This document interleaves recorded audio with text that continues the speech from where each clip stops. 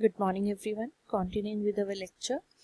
Insurance को social security tool हम कह रहे हैं, उसके रीजंस क्या हैं सबसे पहला सोशल सिक्योरिटी इंश्योरेंस को हम यूज़ कर सकते हैं as a social security tool जो अदरवाइज़ गवर्नमेंट को प्रोवाइड करवाना पड़ेगा, अगर आप इंश्योरेंस नहीं लेंगे तो जो मेन पॉइंट्स हैं दैट इज़ जो हेल्थ हेजार्ड्स हैं ओल्ड एज पेंशन एक्सेट्रा जैसे हैं वो गवर्नमेंट को प्रोवाइड करवाना पड़ेगा अगर आप इंश्योरेंस नहीं लेते हैं।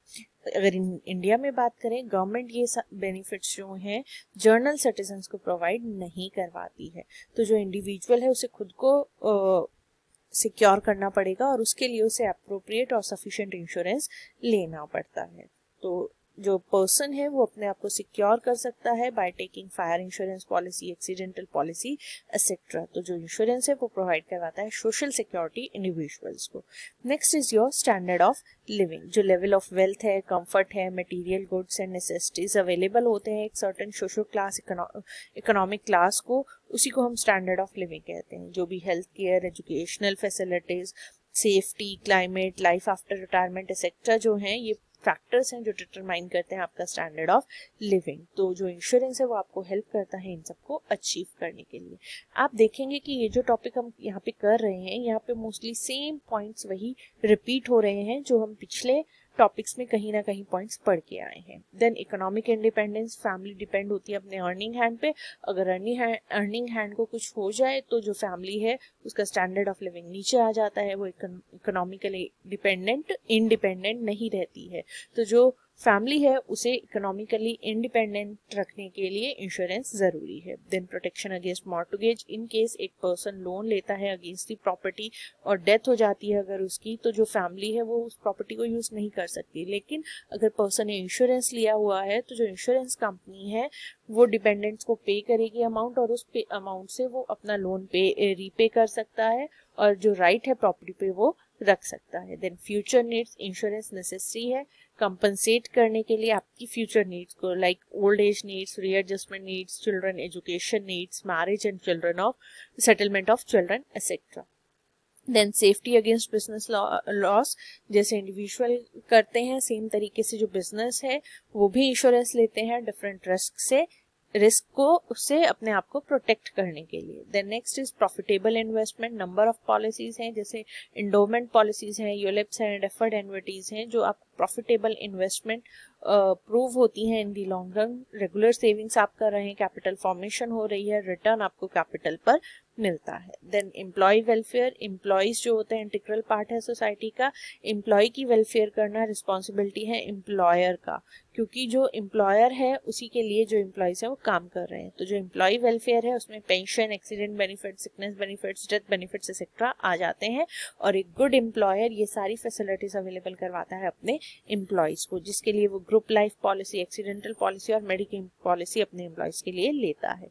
नेक्स्ट इज़ इन्फ्लेशन कंट्रोल जो गवर्नमेंट है वो यूज़ करती है इंश्योरेंस को as an inflation control measures इसी के लिए वो टैक्स बेनिफिट्स ग्रांट करती है। जैसे हमने पहले भी बात की है इस पॉइंट को लेकर कि जब आप इंश्योरेंस खरीदते हैं तो आपके पॉकेट से पैसा गया गवर्नमेंट के पास तो जो सर्कुलेशन में मनी है वो कम हो गया। सेकेंडली जब इंश्योरेंस कंपनी उस पैसे को इन्वेस्ट कर रही है मार्केट में तो वो कंपनीज़ को लोन के फॉर्म में उसको प्रोवाइड करवाती है।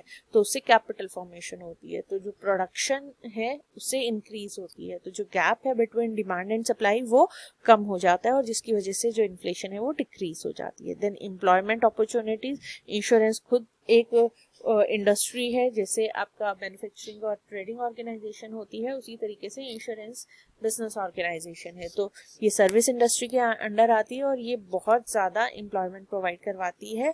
लार्ज नंबर ऑफ़ पर्सन को as managers deputy managers development officers agents clerical staff and supporting staff then आता है आपका हमारा लास्ट टॉपिक चैप्टर का that is insurance and economic development economic development की अगर हम बात करें कि क्या डेफिनेशन है, कोई एक सिंगल डेफिनेशन नहीं है डिफरेंट डिफरेंट चीज़ें हम इसमें इंक्लूड करते हैं।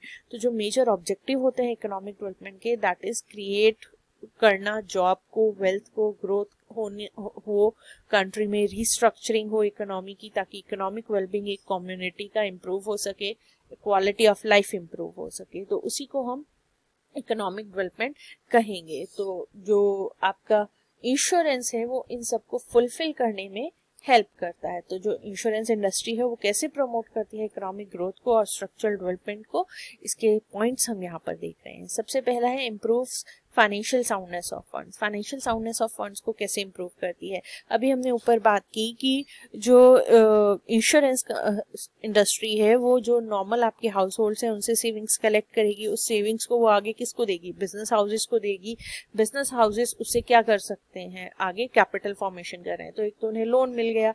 दूसरा फाइनेंशियल साउंडनेस की अगर हम बात करें तो जो आपकी एसेट्स हैं, अगर आप एसेट्स के लिए अपना जो सिक्योरिटी ले रहे हैं in the form of insurance तो आप ज़्यादा एफिशिएंसी से काम कर सकते हैं। एसेट को रिप्लेस करने के लिए आप इंश्योरेंस ले सकते हैं। एसेट को कुछ हो जाए तो उस लॉस को रिकवर करने के लिए आप इंश्योरेंस ले सकते हैं। तो इस तरीके से जो फाइनेंशियल साउंडनेस है फॉर्म्स की, वो इम्प्रूव करता है insurance then next is fosters entrepreneurship and encourage investment ये कैसे होता है? एक तो हमने बात की कि लोन की फॉर्म में वो पैसा प्रोवाइड करवाता है।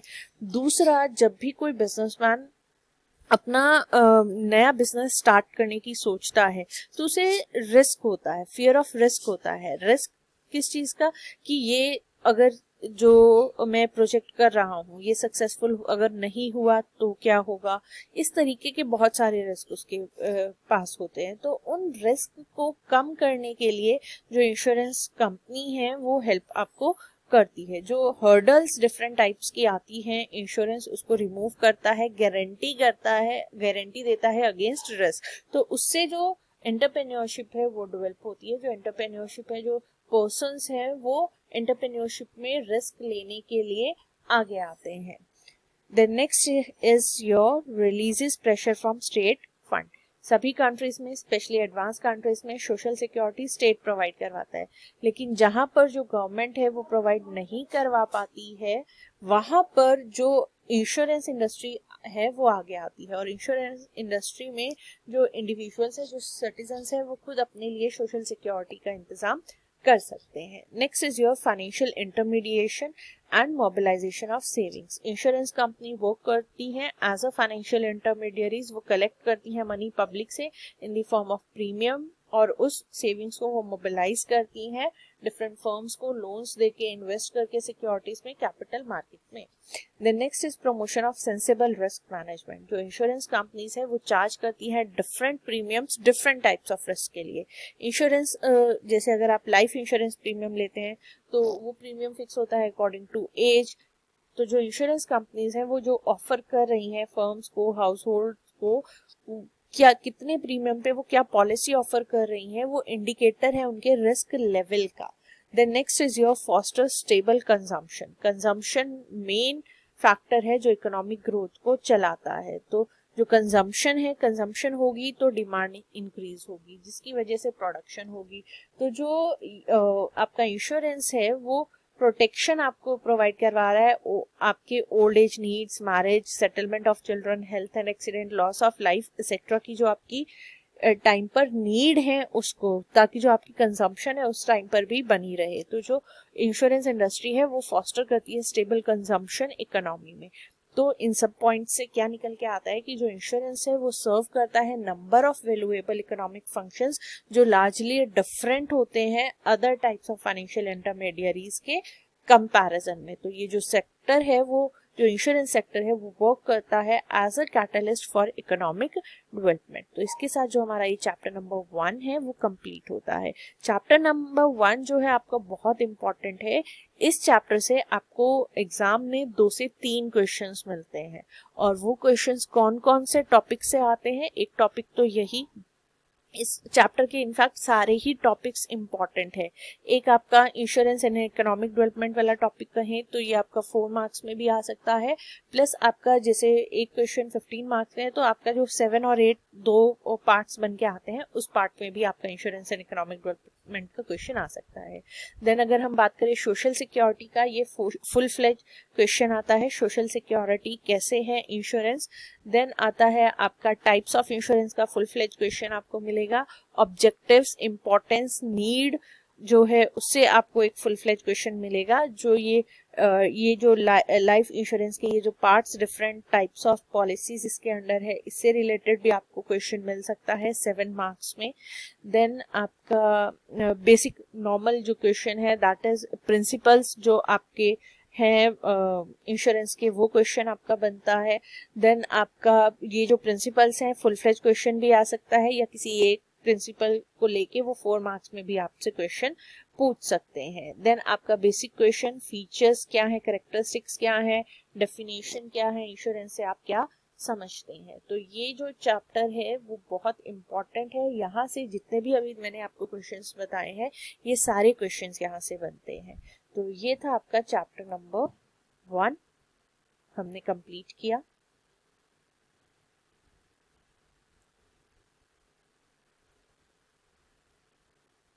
इसके क्वेश्चंस देख लीजिए एक बार क्या क्या है। शॉर्ट आंसर टाइप क्वेश्चंस में what do you mean by insurance give two legal definitions of insurance provide any four characteristics of insurance, explain in short any four principles of insurance, explain in short any four points of importance purpose from individual aspect, explain any four points of need of insurance with economic aspect, provide the importance of insurance from social aspect, what is the national aspect of importance of insurance, write a short note on insurance as a social security, how the insurance plays an important role in economic development of a country what do you mean by insurance? How it was evolved? Define insurance explain the principles of insurance in detail. Explain the features of insurance in detail. Explain the types of insurance or structure of insurance. Insurance is an instrument of distributing the loss of few among many. Explain in detail. Life insurance offers both protection and investment discuss write a detailed note how insurance works as a social security tool how insurance is helpful in protecting economic development of a country जो questions है, जो ये topic है straight forward questions भी बनते हैं plus घुमा फिरा के भी अगर वो आपको क्वेश्चन देते हैं तो पॉइंट्स आपके यहीं से निकलेंगे, इन्हीं टॉपिक्स में से निकलेंगे। तो ये था हमारा चैप्टर नंबर वन नेक्स्ट हम शुरू करेंगे अपना chapter number two life insurance thank you so much